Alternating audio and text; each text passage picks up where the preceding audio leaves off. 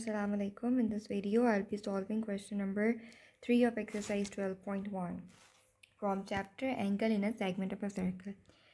AOB and COD are two intersecting chords of a circle. Show that the triangle AOD and BOC are equiangular. So first of all we are going to draw a circle and then we'll draw AOB and COD the chords which are intersecting and then we'll see which two triangles are formed that we have to prove that they are equiangular so let's say this is a circle, a circle with center O. AOB and COD are two intersecting chords. So let's make two chords. So AOB, let's say this is A, O and B. Now we are supposed to make C, O and D.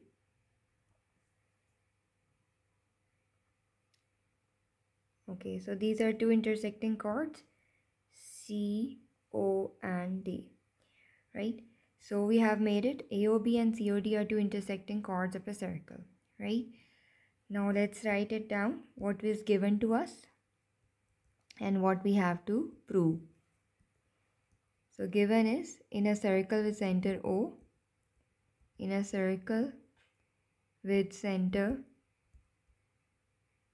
O now we are going to AOB and COD are two intersecting chords.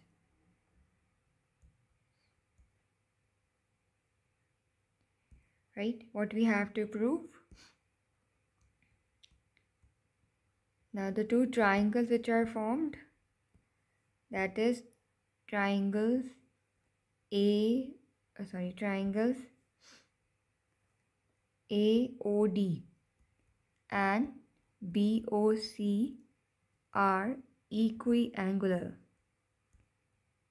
Equiangular. So let's see how triangle is going to form. We'll be doing construction. Since we have to form a triangle AOD so we are going to join A to D. Join a to D and we have to form BOC so we'll join B to C and we'll label angles. Since we have to prove it that they are equiangular so all angles of these two triangles must be equal. So label angles as one, one till let's see how many angles we are going to form. Three angles from one triangle, three angles from another triangle. So we are going to make three uh, six triangles okay so let's join a to d and b to c. Right? Okay and we are going to label the angles as let's say angle 1 and angle 2 similarly an angle 3 and angle 4 angle 5 you can even do your own labeling. So Let's see how we are going to prove it further. We'll be writing down proof with the help of statements and reasons. Statements and reasons. Let's draw a line. Okay. Now, if you see the angle 1 and angle 2, angle 1 is equal to angle 2 why? Because these are vertically opposite angles and which are equal. So the reason is vertically opposite angles. Okay, now let's see how angle 3 is equal to, uh, okay, angle 4 is equal to angle 3. Now how these two angles, angle 3 and angle 4 are same, angle 3 and angle 4 are same because they are standing on the same arc which is AC right is AC की वजह से angle 4 बनना है इस AC की वजह से angle 3 बनना है so standing on the same arc which is arc AC angles in the segment are equal right so this is also the theorem we are going to write standing on the same arc arc is AC so angles in same segment are equal. That is why angle 3 is equal to angle 4. okay. Now let's see the third angle angle 5 and we write angle 6 is equal to angle 5 how angle 5 and angle 6 are equal? Let me write it with the other color.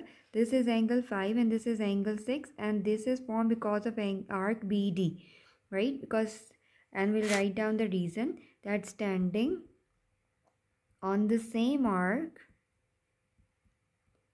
and the arc here it is BD BD arc की वजह से आपके पास angle six और five बन रहे हैं तो angles in the same segment are equal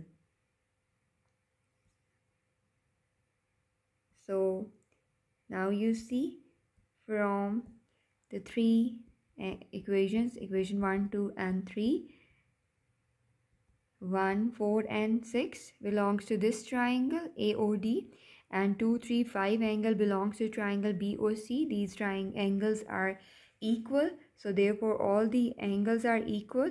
So you can say both the triangles are equiangular triangles. Therefore triangles AOD and triangle BOC are angular तो इक्वी एंगुलर प्रूव करने के लिए हमने क्या किया? दोनों ट्राइंगल्स के एंगल्स को इक्वल प्रूव कर दिया right using the theorem hope you understand this sum thank you so very much अल्लाह हाफिज़.